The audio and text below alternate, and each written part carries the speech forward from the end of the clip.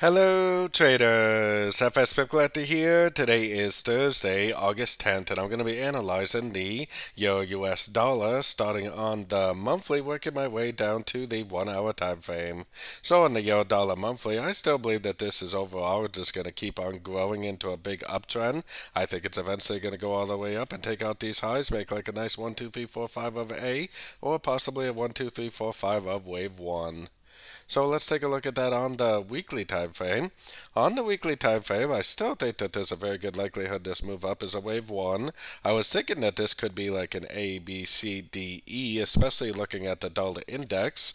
I think that once this wave E is complete, it's going to end up continuing the uptrend to eventually make that 3, 4, and 5, just like what I was showing on the monthly time frame. So let's head down to the daily time frame. On the daily time frame, we're definitely making a little bit of a move up right now. So we're gonna have to see. I mean, we do have that CPI inflation data coming out today. To me, it looks like we're in a correction, and it looks like we're actually gonna end up continuing the downtrend. Probably still like all part of a wave E, like a one, two, and then this is gonna make like a three, four, five of wave E before it breaks structure to the upside, and most likely ends up continuing the uptrend from there. So taking it down to the four hour time frame. On the four hour time frame, I mean, this is kind of a three way pattern up, and this is definitely a three way pattern down.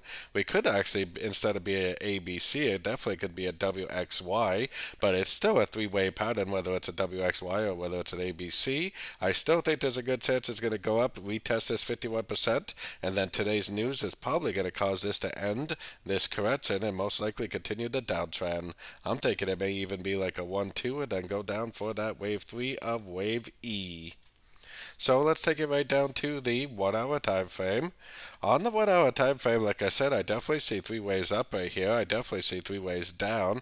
It definitely looks more like a WXY than an ABC, but we do already have three waves up, and I'm not really convinced that this third wave up is over. I think it's at least going to go up and bounce off this fib level, and then I believe that today's CPI inflation data is going to cause the euro to continue the downtrend, probably ending a correction, maybe even ending an ABC of 2 and starting a big trend down for a wave 3. So don't forget to join my free Discord channel. The link for that is on the screen and in the description. Thanks and happy trading.